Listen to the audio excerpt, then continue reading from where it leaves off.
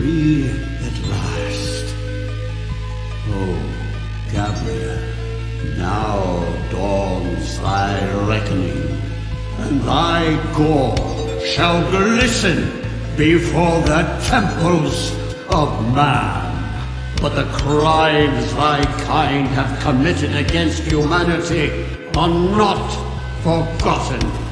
And thy punishment is death. Bye.